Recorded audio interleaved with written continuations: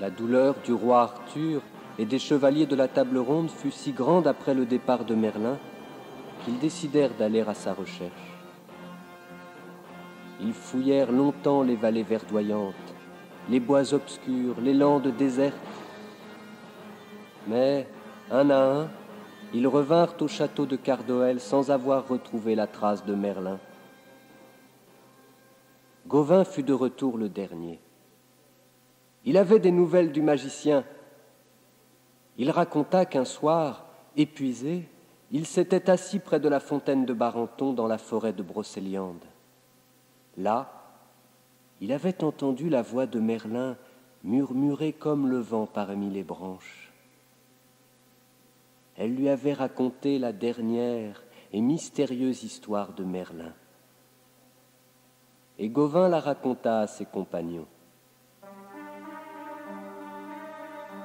Un jour qu'il se promenait dans la forêt de Brocéliande, le magicien avait aperçu au bord de la fontaine de Barenton une jeune fille ravissante.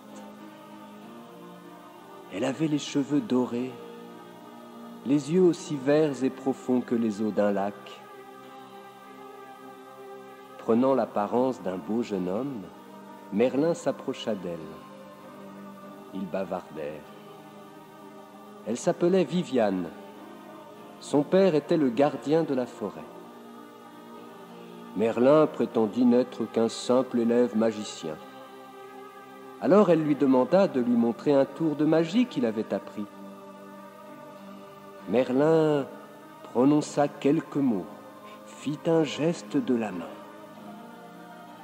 Aussitôt, la clairière se changea en un jardin magnifique, orné de fleurs parfumées, de fruits savoureux, d'oiseaux multicolores aux chants délicieux.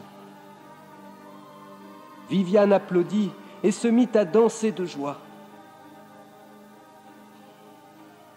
À partir de ce jour, Merlin et Viviane se rencontrèrent souvent dans la forêt de Brocéliande.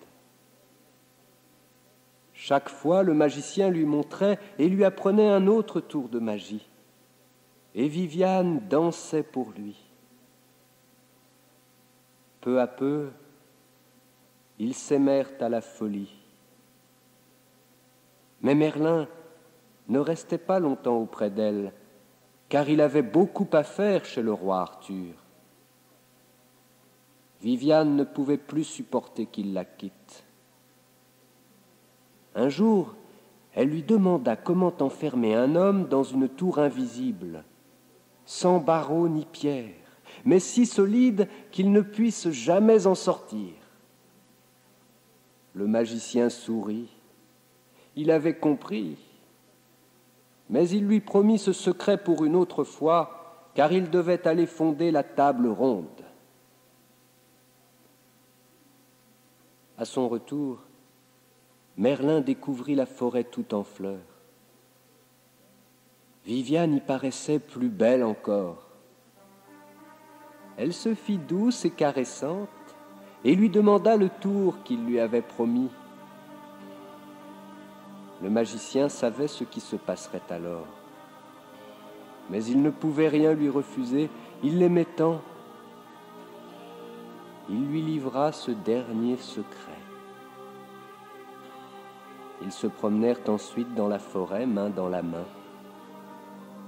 Ils s'assirent sous un buisson d'aubépine.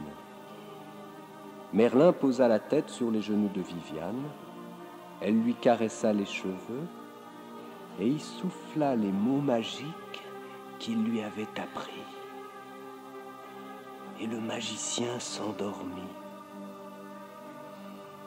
Alors elle se leva et tourna neuf fois autour de lui. Avec son écharpe, elle fit neuf cercles, neuf enchantements. Quand Merlin ouvrit les yeux, la forêt, le jardin, le buisson d'aubépine, tout avait disparu. Il se trouvait dans un château merveilleux aux murs d'air et de lumière. C'était un palais enchanté dont il ne pouvait plus sortir. Mais Viviane était auprès de lui. Voilà ce que la voix de Merlin avait appris à Gauvin. Mais avant de s'éteindre, elle lui donna un message pour ses compagnons. Ne me cherchez plus sur la terre. Mon esprit sera toujours avec vous, et si vous savez écouter, vous entendrez ma voix dans vos cœurs. Préparez-vous à votre mission, car le coup douloureux sera bientôt donné.